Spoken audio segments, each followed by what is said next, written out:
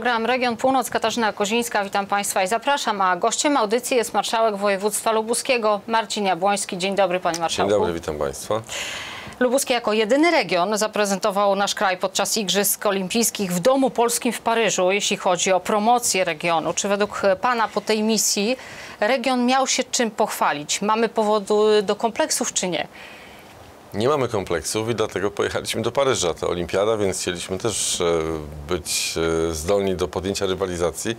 E, o tyle nam się to udało, że byliśmy jedynym regionem, który był partnerem Polskiego Komitetu Olimpijskiego, zorganizowanym po raz pierwszy w historii polskiego udziału w olimpiadach Domu Polskiego. W pięknym miejscu, w wspaniałym obiekcie. E, zrobiliśmy to w taki sposób, który jest e, bardzo dobrze widoczny. Spotykaliśmy się z bardzo pozytywnymi opiniami wielu osób, które się pojawiają w Domu Polskim.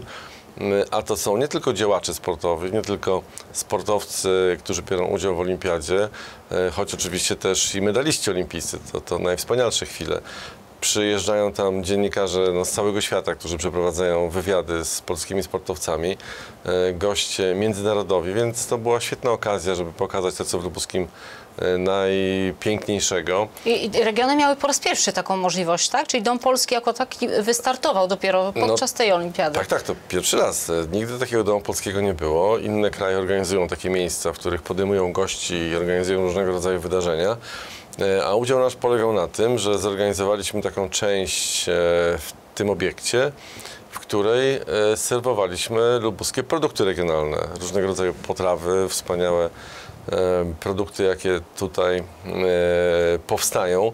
Mamy do tego specjalną instytucję, Lubuskie Centrum Produktu Regionalnego. Pokazujemy te rzeczy na całym świecie i staramy się zachęcić do e, kupowania od lubuskich przedsiębiorców tego typu rzeczy. Mamy cudowne tradycje winiarskie, więc także serwowane tam lubuskie wina, e, ale też lubuskie regionalne piwa. E, I przy tej okazji opowiadaliśmy o tym, jak pięknym regionem jest Lubuskie, jakie mamy możliwości.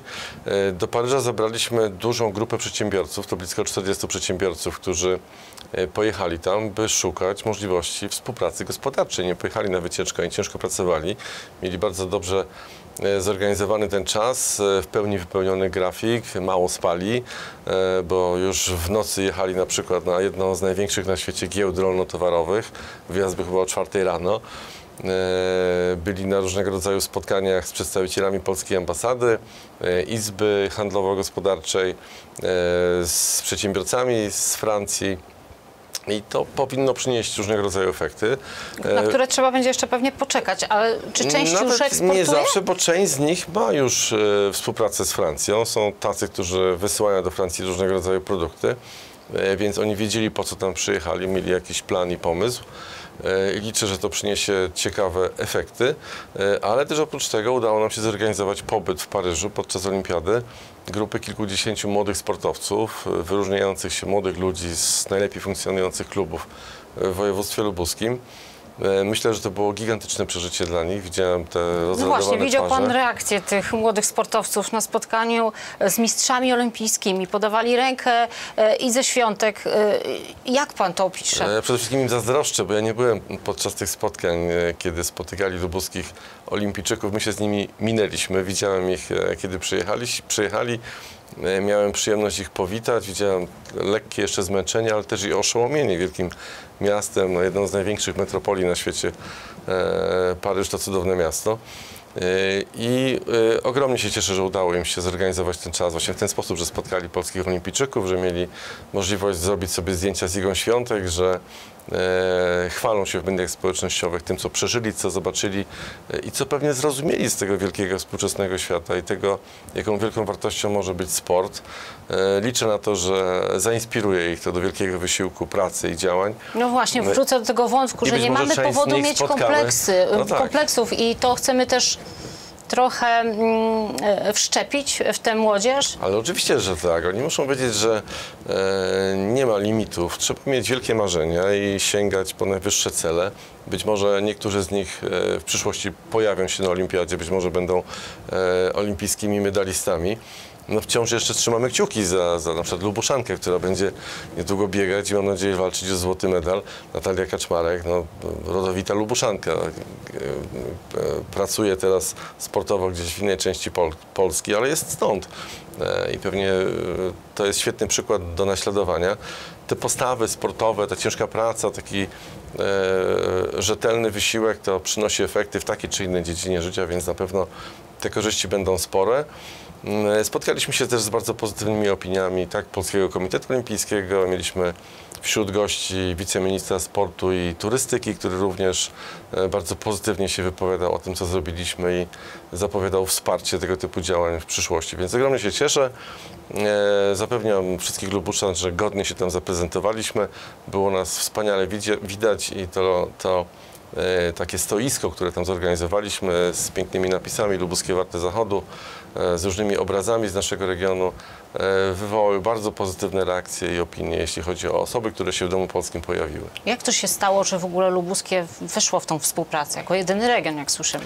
No, wyprzedziliśmy trochę innych, no właśnie mówiłem o tej rywalizacji, że my też podjęliśmy taką rywalizację. Początkowo Polski Komitet Olimpijski chciał e, podjąć taką współpracę z kilkoma regionami, e, ale kiedy zobaczyliśmy, na czym ta szansa polega, e, sformułowaliśmy taką ofertę, która no, okazała się najciekawsza także dla PKOL-u. Wybrali nas jako jedynego partnera, sprostaliśmy temu zadaniu. E, I słuchaliśmy z jaką wielką radością prezes Polskiego Komitetu Olimpijskiego podczas spotkania, takiej uroczystości e, z udziałem tych lubuskich przedsiębiorców opowiadał, e, jak e, bardzo zadowolony jest on i wszyscy jego współpracownicy z tego, co pokazaliśmy, jak zorganizowaliśmy tę przestrzeń, która była dla nas przeznaczona. Czyli warte było zachodu. Absolutnie warte to było zachodu, bardzo się z tego wyjazdu cieszę e, i myślę, że wiele Bo ci osób... złośliwi się pojawią, którzy będą pytać, dlaczego i za ile. opowiadać. No, oczywiście e, część tych środków to fundusze unijne, bo misję gospodarczą zrealizowaliśmy z funduszy unijnych, e, które są przeznaczone na tego typu cele. Wspieramy lubuskich przedsiębiorców, pomagamy im brać udział w różnego rodzaju imprezach e, targowych, wystawienniczych w różnych częściach świata, no po to, żeby mogli promować e, swoją ofertę. Ona jest naprawdę bardzo interesująca. E, A pobyt młodzieży sfinansowaliśmy z pieniędzy, jakie mamy przeznaczone w województwie lubuskim w budżecie naszego regionu e, na promocję regionu. Myślę, że ci młodzi ambasadorowie lubuskiego to był świetny pomysł.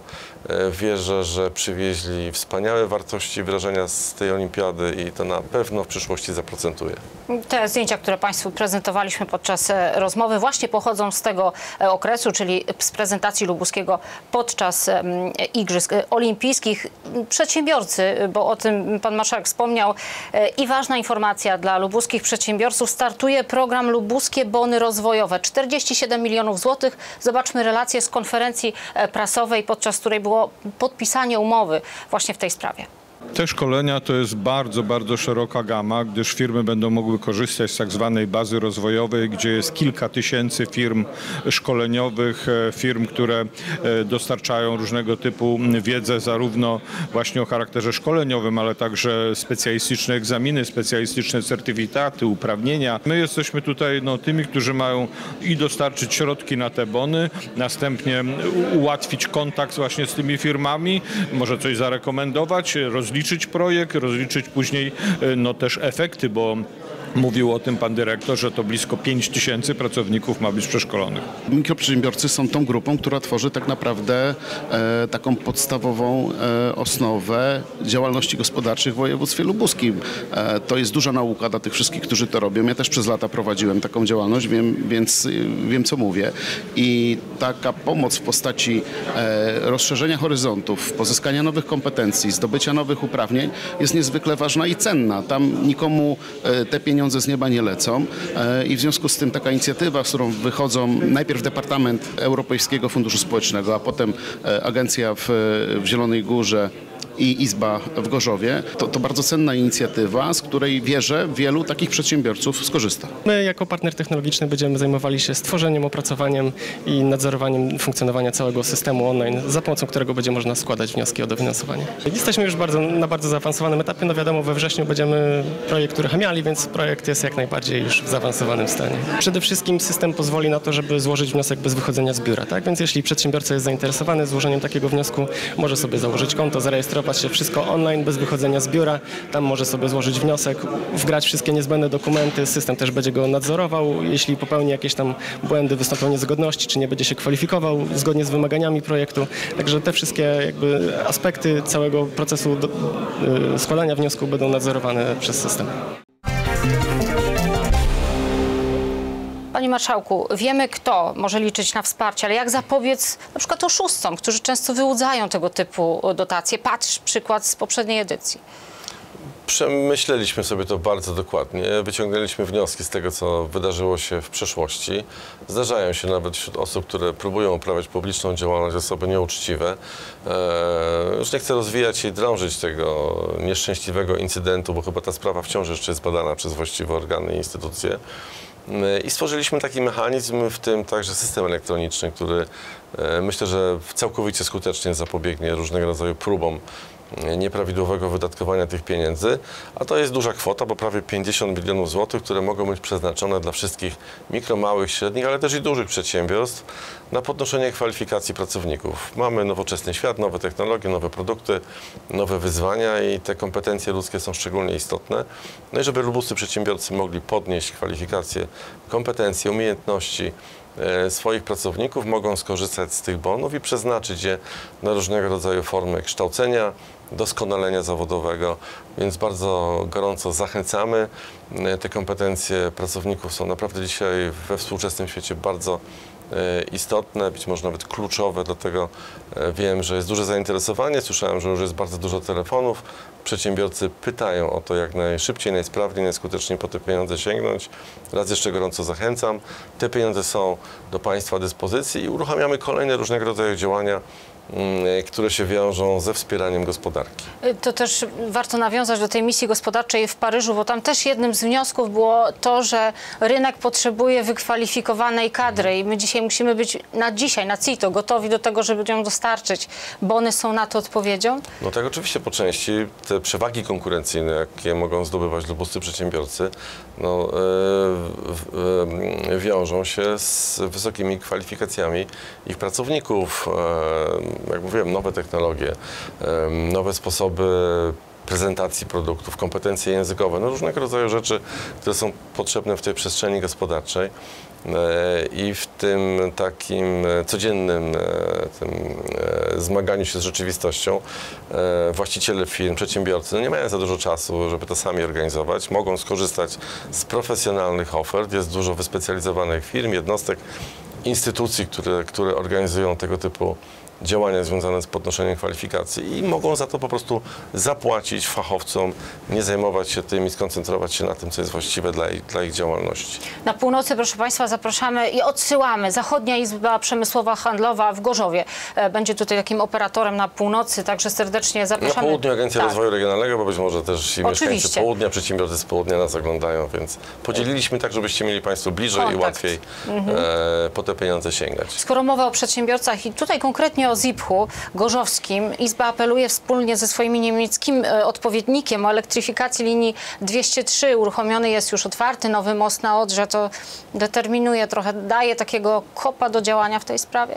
Chociaż jest to na poziomie landów, ministerstw. E, Głośnego dopominania się o poprawę połączeń kolejowych nigdy nadto, więc każda okazja, by o tym powiedzieć, jest dobra. My też próbujemy na różne sposoby przebijać się z, tym, z tymi postulatami. E, e, To, to chodzi oczywiście o elektryfikację linii, o której Pani mówiła, ale też i wszystkie inne e, elementy unowocześnienia tej infrastruktury. No, zmagamy się w, w, z tym problemem w Lubuskim. Na szczęście mamy już pierwszy pojazd, szynobus, który się pojawi w najbliższym czasie. On już jest w regionie, został poddany potrzebnym certyfikacjom, homologacjom i za krótki czas powinien wyjechać na tory. Mam nadzieję, że no, najpóźniej na przełomie sierpnia i września zorganizujemy tutaj takie wydarzenie, w którym pokażemy ten nasz nowy nabytek. E, Że Przypominam, końcu jest, to jest ten, przypominam że jest jeszcze jeden. Czekamy też na zakończenie tych wszystkich procedur, bo kupiliśmy z końcem ubiegłego roku dwa szynobusy za blisko 60 milionów złotych i to z całą pewnością poprawi radykalnie sytuację na tych e, lubuskich torach i te przewozy regionalne będą bardziej niezawodne. Ale oprócz tego oczywiście musimy podejmować wspólnie działania. Liczymy na wsparcie parlamentarzystów między innymi, także gorąco się do wszystkich Państwa parlamentarzystów o to zwracam, żeby przy każdej możliwej okazji mówić właściwym ministerstwom, władzom, spółkom e, krajowym o tym, jak ważne jest e, podnoszenie jakości infrastruktury kolejowej w województwie lubuskim.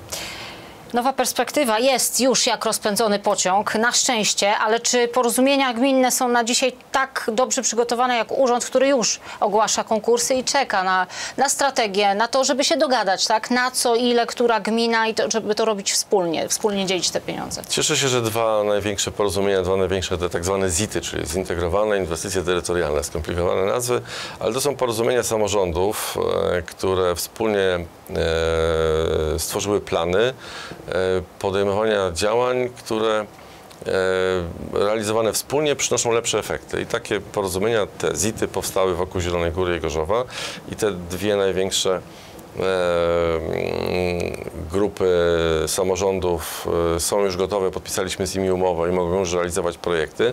Pieniądze dla nich e, są e, na kontach, możemy już płacić za wszystkie wydatki związane z realizowaniem tych projektów.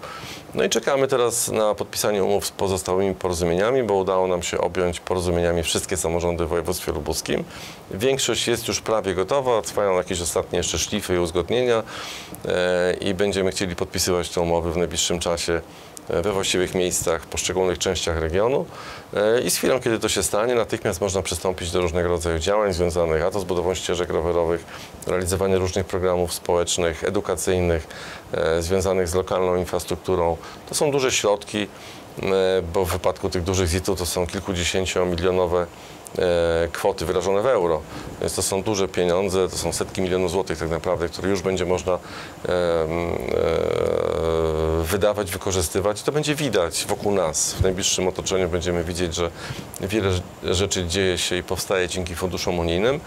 E, Razem to jest gigantyczna kwota, więc bardzo nam zależy i apeluję, namawiam, żeby pozostałe samorządy jak najszybciej przygotowały się do e, podejmowania już prawdziwych działań. To jeśli chodzi o Gorzowski ZIT, na chwilę robimy e, pauzę. Posłuchajmy wypowiedzi prezydenta Gorzowa o tym, w jaki sposób jest miasto przygotowane do wydatkowania tych środków z nowej perspektywy finansowej w takim obwarzanku Gorzów i okoliczne gminy, e, a także te, które e, najbliższe gminy okalają, bo to na przykład także Strzelce Krajeńskie. Posłuchajmy. To są pieniądze, na które czekaliśmy. Oczywiście mm, zawsze chciałoby się więcej, bo nasze negocjacje trwały blisko dwa lata i one nie były łatwe. Liczyliśmy na to, że, że tych pieniędzy będzie zdecydowanie więcej. Natomiast wiemy, że budżet, który województwo dostało, e, są, ten budżet jest mniejszy. E, mamy świadomość tego, że no, trzeba jakoś ten tort e, podzielić, ale walczymy, bo to nie tylko pieniądze w ramach ZIT-ów, ale za chwilę otwierają się różnego rodzaju konkursy. E, My tak naprawdę w poprzednią perspektywą e, unijną zdaliśmy, myślę, że celująco egzamin. To nie chwalę się ja jako Jacek tylko chwalę e, moich współpracowników, naszych partnerów, e, e, czyli gminy z naszego miejskiego obszaru funkcjonalnego, dlatego że po pierwsze wydatkowaliśmy e, bardzo dobrze, bardzo sprawnie, bardzo szybko środki. E, przeszliśmy wszelkie procedury kontrolne, naprawdę wszystko jest na najwyższym poziomie. E, no i to, co jest przewagą e, tych ZIT-ów, to to, że my między sobą mogliśmy tak naprawdę wymieniać się pieniędzmi. Gmina na przykład Bogdaniec potrzebowała więcej pieniędzy na rewitalizację, ok, no to my oddaliśmy im z rewitalizację, a wzięliśmy na zbrojenie terenów inwestycyjnych. W samorządzie, mm, ile byśmy do samorządu nie e, przelali pieniędzy, to zawsze nam będzie brakowało, bo jakby znamy potrzeby mieszkańców.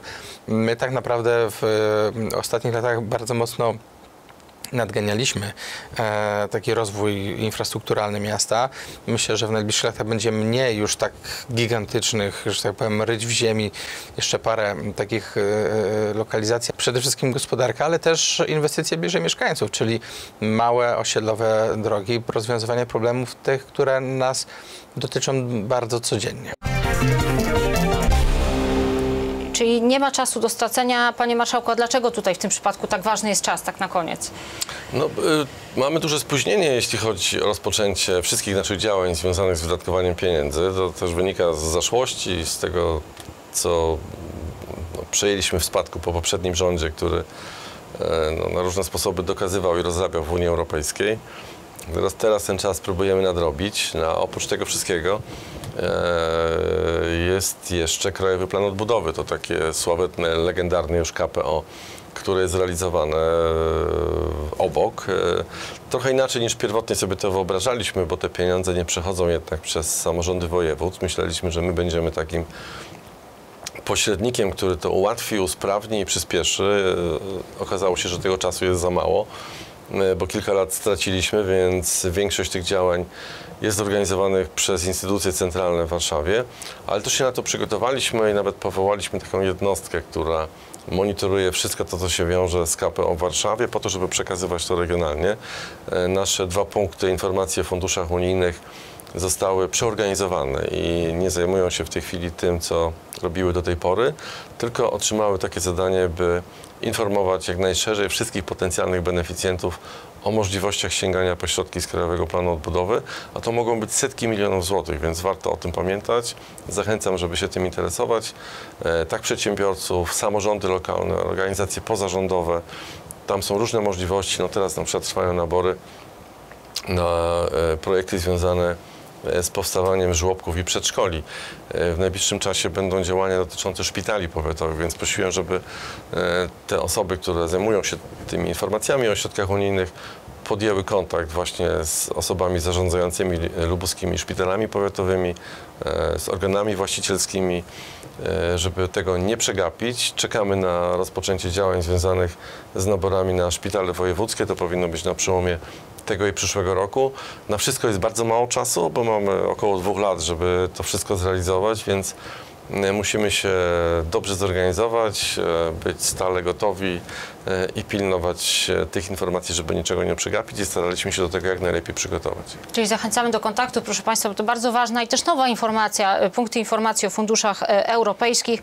Tu jest także informacja o e, środkach z Krajowego Planu Odbudowy, które jak słyszymy no jest tutaj e, dysponowane centralnie. Dziękujemy za te informacje, Panie Marszałku. Program Region Północ czas kończyć, a gościem audycji był Marszałek Województwa Lubuskiego, Pan Marcin Jabłoński. Dziękuję. Dziękuję bardzo, do zobaczenia. Dziękujemy Państwu. Zapraszamy do korzystania z tej garści informacji. Do zobaczenia.